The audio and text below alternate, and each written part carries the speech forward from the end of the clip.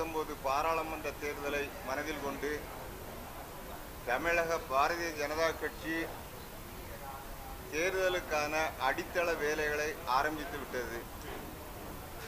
மாநில தலைவர் மரியாதைக்குரிய தமிழிசை சவுந்தரராஜன் அவர்களினுடைய சொல்லுக்கிணங்க தமிழகத்தில் உள்ள முப்பத்தொம்போது தொகுதியிலும் இதுபோன்ற கூட்டங்கள் நடைபெற்று வருகின்றது.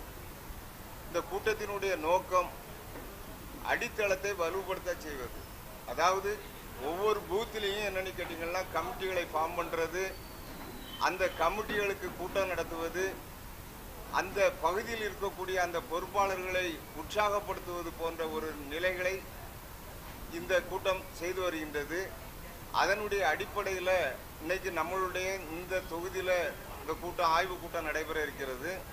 இந்த கூட்டத்தில் கலந்துகிடுறது வந்து மண்டல் தலைவர்கள் மண்டல் நிர்வாகிகள் மண்டல் அணிகளினுடைய பொறுப்பாளர்கள் அதற்கு மேற்பட்ட மாவட்ட மாநில பொறுப்பாளர்கள் இந்த கூட்டத்தில் கலந்துக்கிடுவாங்க.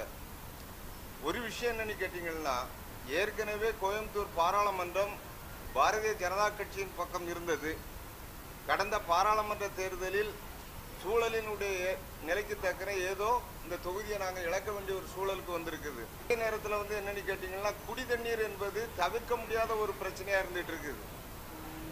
வீடுகளுக்கு வரி நூறு சதம் என்ன செய்திருக்கிறாங்க கூட்டியிருக்கிறாங்க.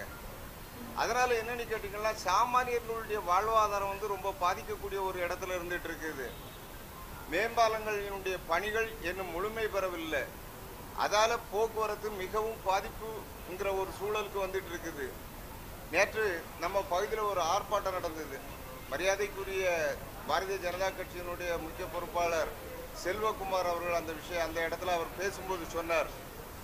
இந்த நகரத்தில் எந்த பகுதியில் போவதாக இருந்தால் கூட சாக்கடைங்கிறது வந்து ரொம்ப மோசமான நிலையில் இருந்துட்டு இருக்குது. அதால் கொசுகள் அதிகமாக உற்பத்தியாகி பல நோய்கள் வருவதற்கான வாய்ப்புகள் இருந்துட்டு இருக்குன்னு சொல்லி சொல்கிறார் இந்த மாநகரத்தினுடைய அதிகாரிகள் கவனம் கொடுக்கணும்.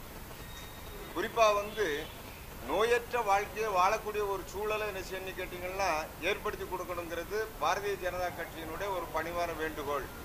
குடி தண்ணீர்ங்கிறது வந்து கண்டிப்பாக குடிக்க வேண்டிய ஒரு விஷயம். மக்களினுடைய அடித்தள ஆதாரமான விஷயம் குடிதண்ணீர் பிரச்சனை.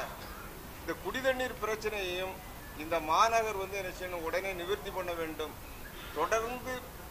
பகுதியில் இருக்கக்கூடிய பாரதிய ஜனதா கட்சியினுடைய பொறுப்பாளர்கள் வந்து சம்பந்தப்பட்ட அதிகாரிகள்கிட்ட பேசி மனுக்கள் கொடுக்கும் இன்னைக்கு வரை எந்த விதமான தீர்வு இல்லாத ஒரு நிலையில் இருந்துட்டு இருக்குது இதுக்கு நிரந்தரமான ஒரு தீர்வு ஏற்படவில்லை என்றால் தொடர்ந்து பாரதிய ஜனதா கட்சி அந்த வகைக்காக போராடும் To get instant news updates, like the Koi Post page. Click on See First to view the news first. Also, in YouTube, subscribe to Koi Post channel to watch interesting news and videos.